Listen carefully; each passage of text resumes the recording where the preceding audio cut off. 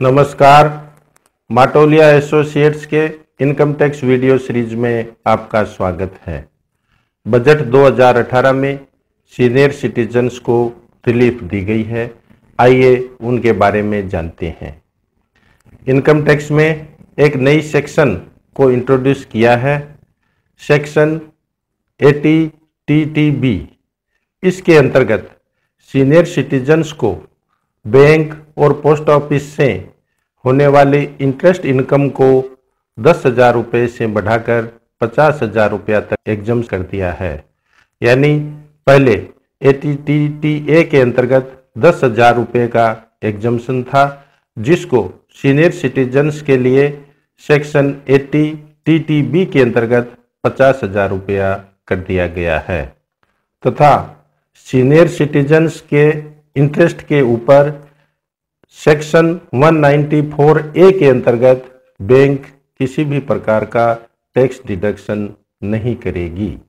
Section 80 D के अंतर्गत medical insurance तथा रेगुलर चेकअप एक्सपेंसेज का एग्जामेशन तीस हज़ार रुपये था, जिसको फिनेंशियल ईयर 2018-19 से तीस हज़ार से बढ़ाकर पचास हज़ार रुपया कर दिया है।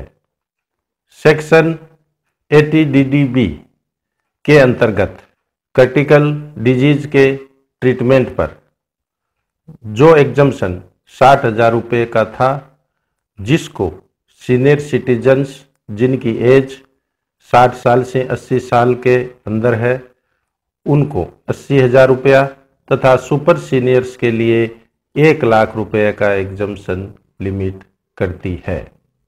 प्रधानमंत्री वय वंदना योजना की स्कीम को मार्च 2020 तक एक्सटेंड कर दिया है।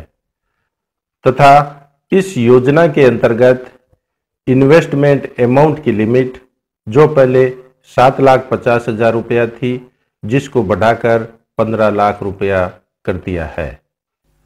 हमारे चैनल को सब्सक्राइब कीजिए तथा वीडियोज़ को लाइक एवं शेयर ज़रूर करें। धन्यवाद।